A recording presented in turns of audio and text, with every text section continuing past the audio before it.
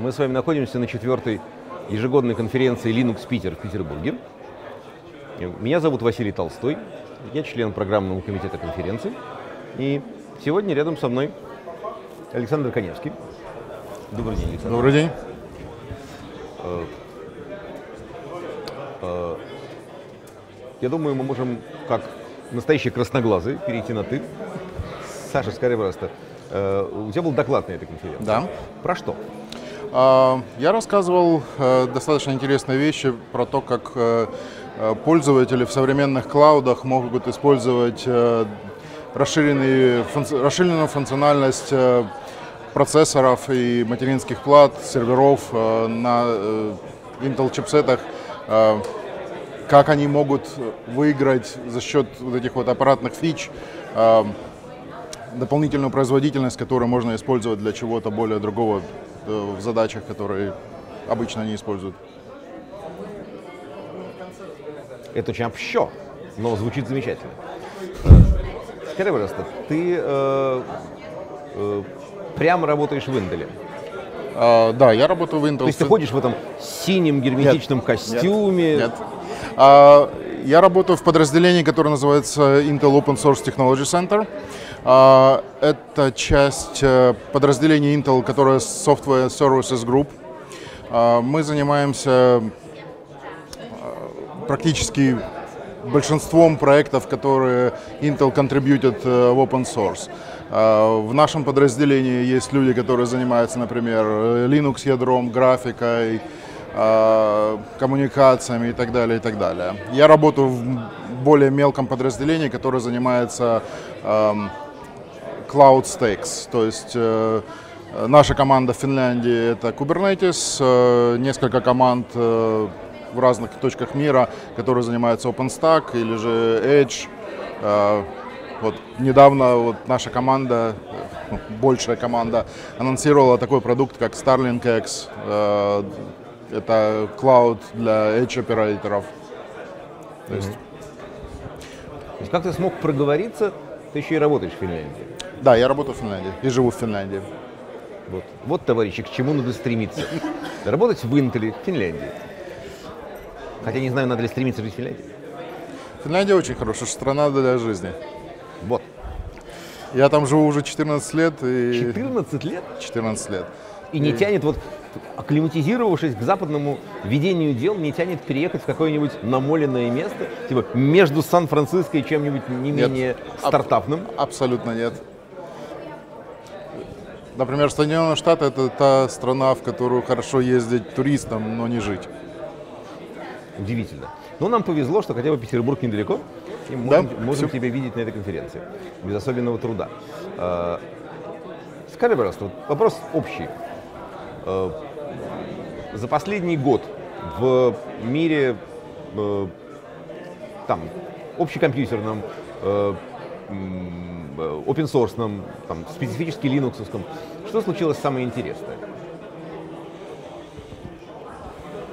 Хороший вопрос.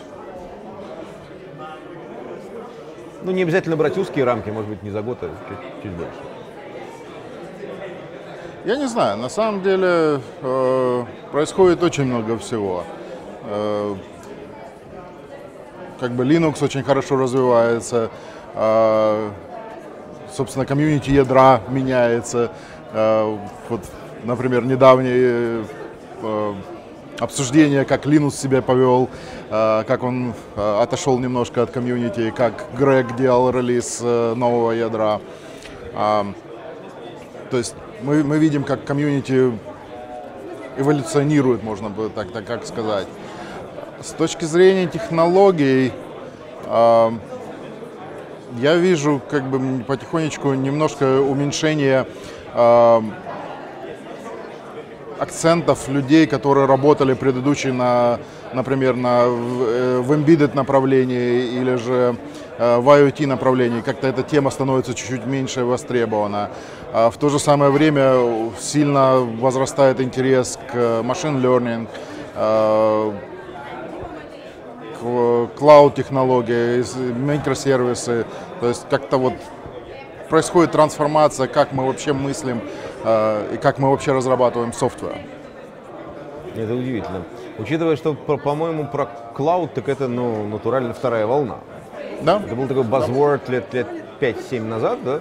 Потом, потом вспыхнуло интернет вещей, э, потом, и где-то там же машин learning.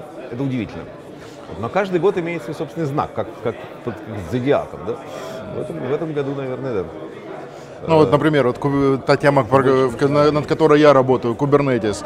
А, большинство людей, которые вот стояли в истоках э, Kubernetes, у них вообще таки есть такая поговорка. Э, если раньше все считали, что э, я делаю решение серверное, подразумевали Linux, у них цели и, собственно, цель это немножко получается сделать. Это а, если я делаю клаудный сервис, это означает, что я работаю, мой сервис деплоится на Kubernetes. И вообще в чем-то это получается. То есть популярность вот, ну, так сказать, чисто э, э, непрофессионально, смотря кругом, да, она безусловно растет. Я вижу. Слушай, а вот про, э, собственно, тему доклада. Э, это специфично к Intel эти решения? А, некоторые вещи были э, независимые. То есть, например, так, такая технология поддержки, как Huge Pages, а, оно присутствует на всех современных процессорах. А, там э, технология распределения workload по, э, по процессорам, по, э, там, по memory контроллерам. Это, опять же, это это присутствует сейчас везде, и Intel, и AMD, и ARM процессора, и PowerPC. Э, у всех практически дизайн систем одинаковый, многопроцессорных. А, ту часть доклада, в которой я рассказывал про акселератора,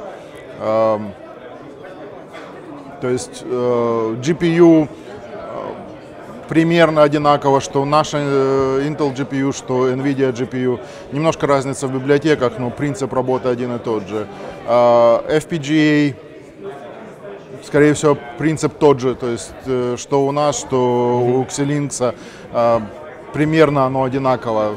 Разница немножко там в утилитах, библиотеках, производительности, но принципы одинаковые.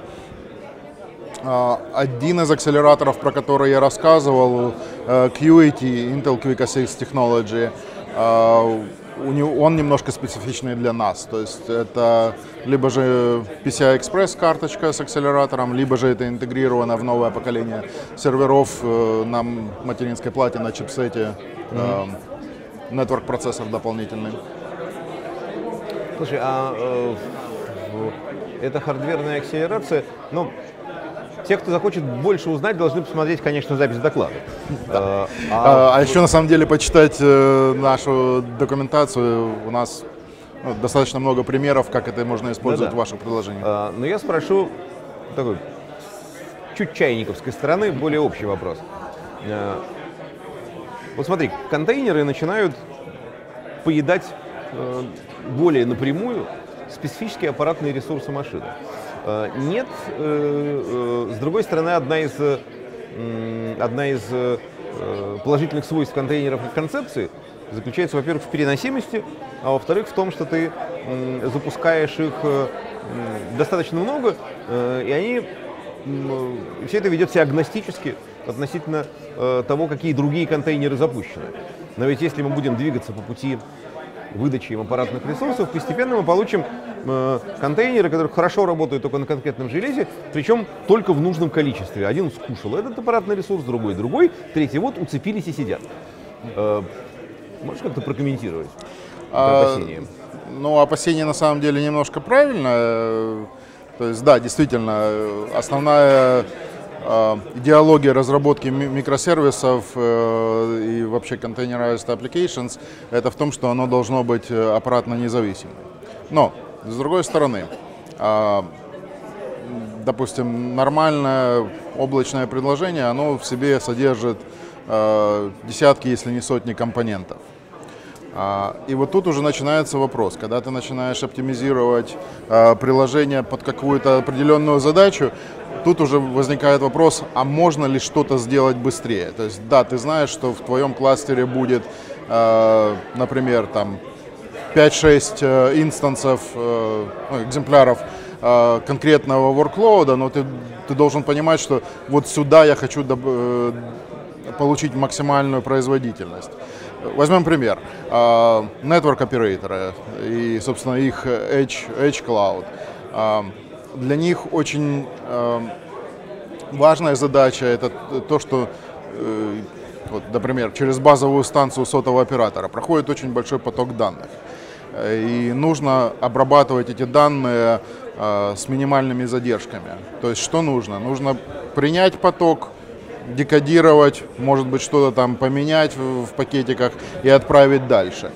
А если это все делается как бы hardware агностик, у вас получается лимит это то, что там пропускная шина э, может пропустить, плюс да. то, что ваш процессор может пропустить.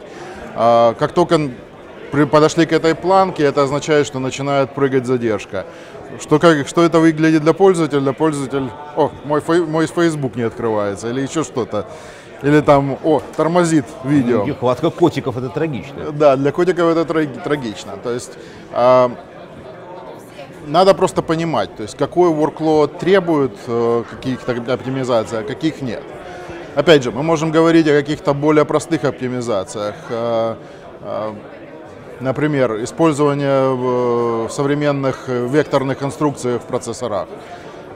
Для обычных приложений, скорее всего, это не приведет к какой-то существенной производительности, а, увеличения производительности.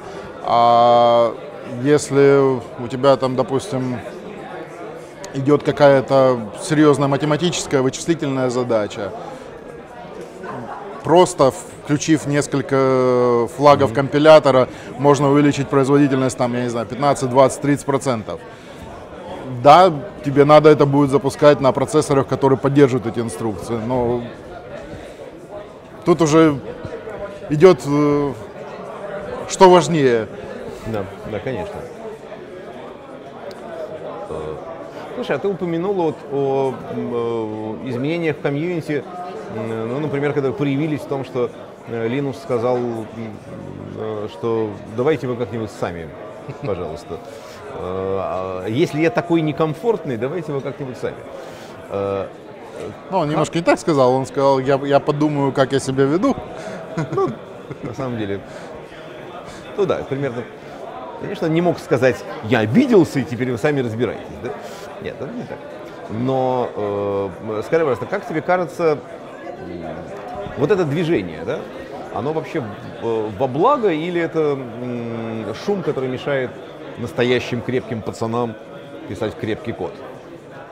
А, движение имеется в виду какое? Ну вот давайте будем более-более милыми, включим код в Codes of Conduct, э, возможно, более эксплицитные, которые есть. Э, вот как, так сказать, визуальное, ну, визуальное, как яркое подтверждение тому, что что-то движется, как раз вот то, что Линус сказал, что я подумаю, как я себя веду. Э, вот это все на пользу или, или это просто параллельная активность?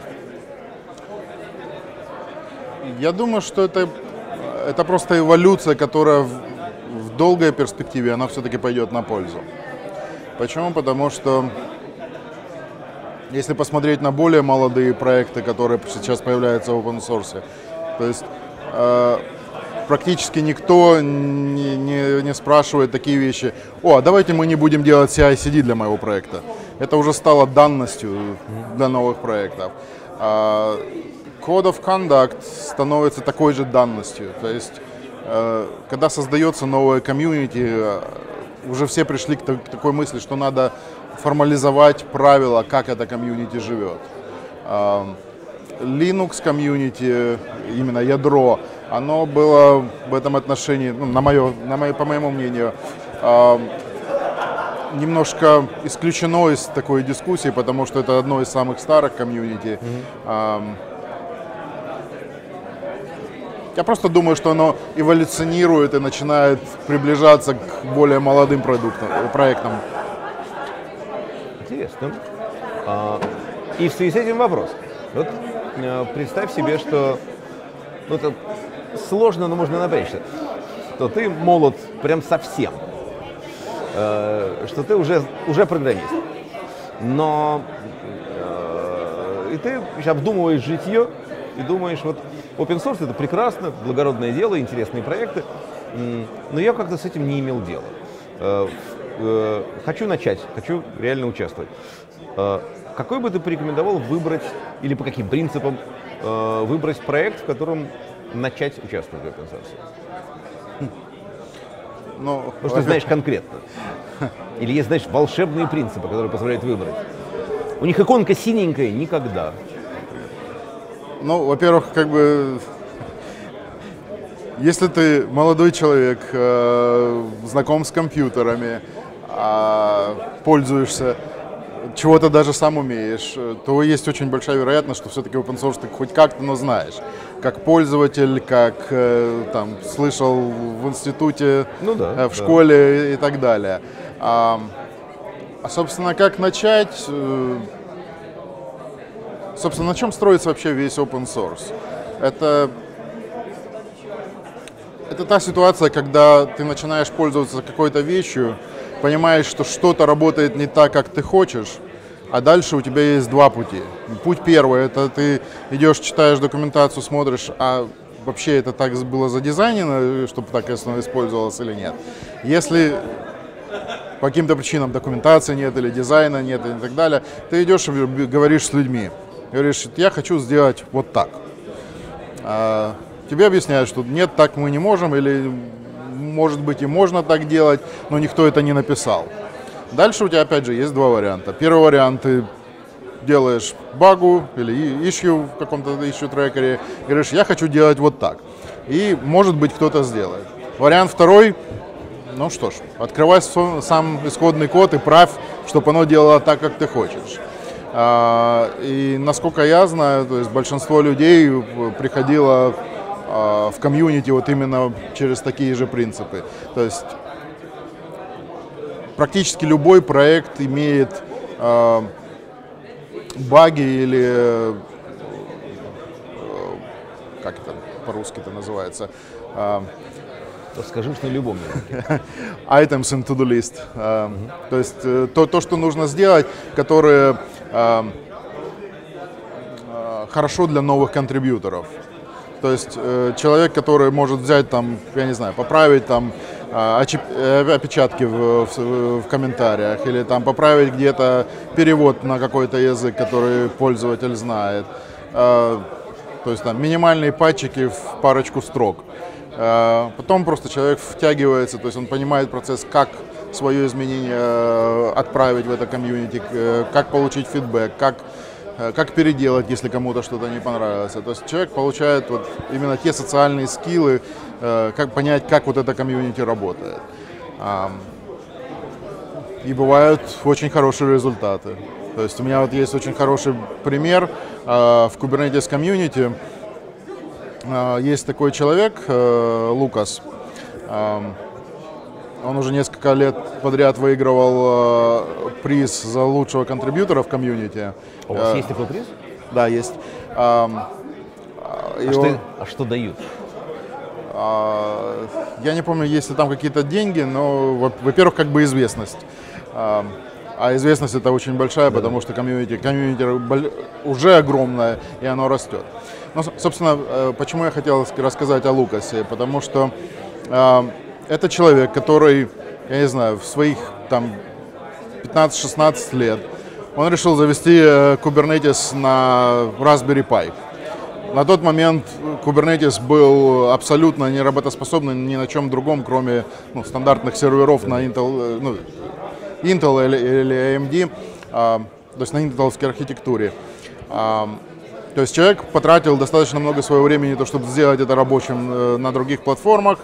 А, пока он это делал, пофиксил кучу разных э, проблем в разной части кода. А, к своим 18 лет э, он получил статус апрувера во многих кусках кода. Ого. У него своя компания. Это какая-то такая святочная история. Все уж совсем хорошо. Ну вот, есть такие вот молодые дарования, которые просто в какой-то момент заинтересовались проектом, и для него это сейчас выросло э, в полноценную работу. Красота. То есть, как бы начать надо с того, чтобы поправить полочку в собственной ванной, да? А, а дальше оно пойдет. Да. Отлично. Вот этим и займитесь, коллеги. Спасибо большое, Александр. Спасибо.